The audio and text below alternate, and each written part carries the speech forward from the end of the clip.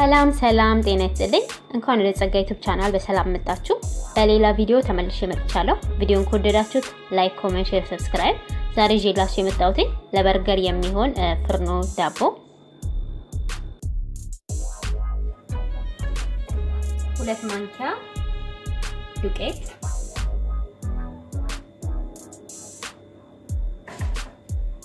በላዩ ላይ ውሃ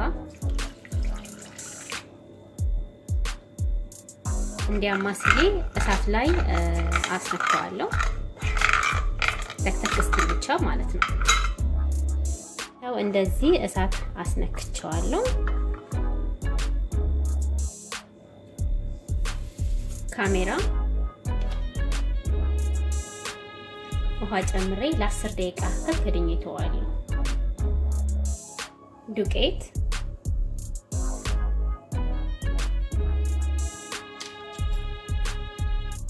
በላዩ ላይ ወተት ፓውደር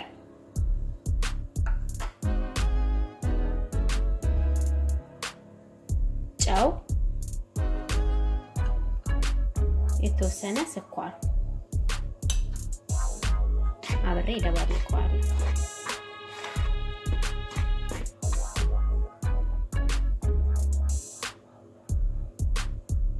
ዘይት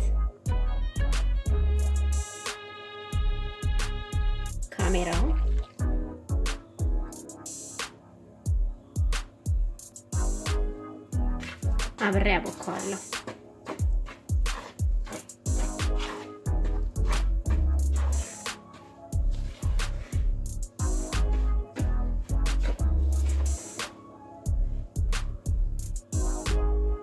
በላዩ ላይ እሳት ያስነካሁትን ሊጥ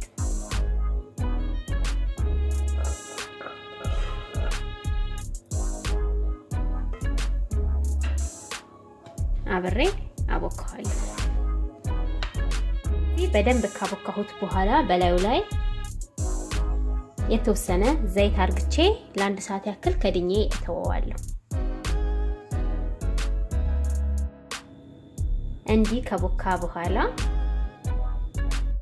የምንጋግርበት ላይ እኔ ከታች ዘይት ቀብቻለሁ። በመቀጠል እንደዚህ በትንንሿ እያድበለበልን እናስቀምጣለን። በምንፈልገው መጠን ከዚህም ከፍ የሚል ከፈለግን ማድረግ እንችላለን።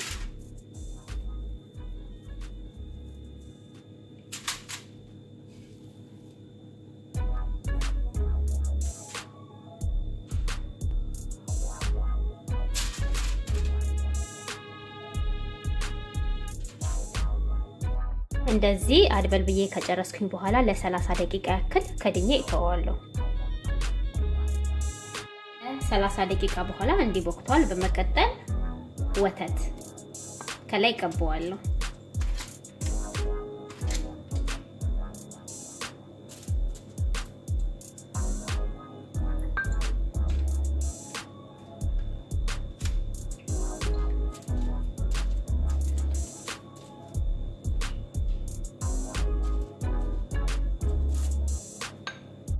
ከላይ ከቀባሁት በኋላ በላዩ ላይ ሰሊጥ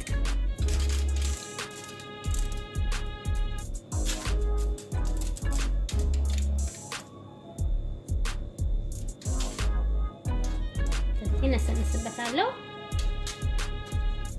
በመቀጠል ፎረን እከተዋለሁ። እኔ በዚህ መንገድ ጨርሻለሁ። ከወደዳችሁት በዚህ መንገድ መስራት ትችላላችሁ።